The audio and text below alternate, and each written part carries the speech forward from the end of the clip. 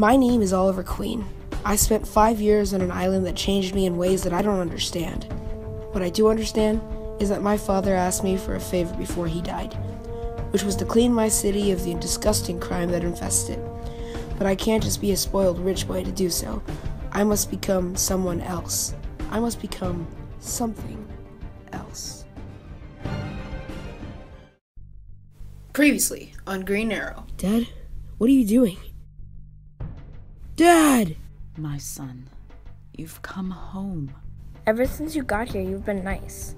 I'm a spoiled rich boy.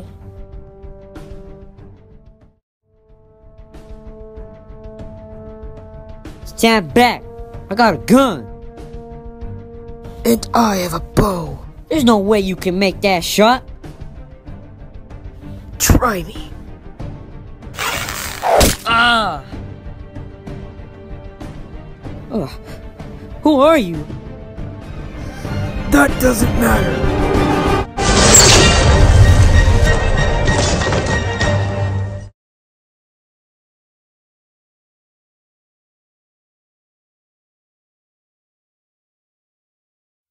Oliver, since you just barely got back, I figured I'd get you a bodyguard. Mom, I don't need a bodyguard.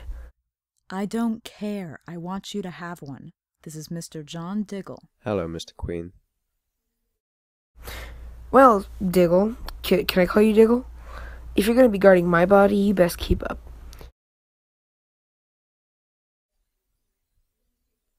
Why are we at your father's old warehouse? I, uh, spend my free time here. I spent several years in the army. I know when someone's lying.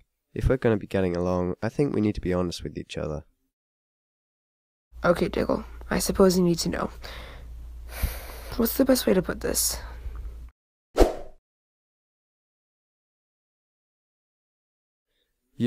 You're that vigilante. No, I am Oliver Queen, the Starling City Vigilante. You could at least come up with a better name. You're not mad? What about the arrow?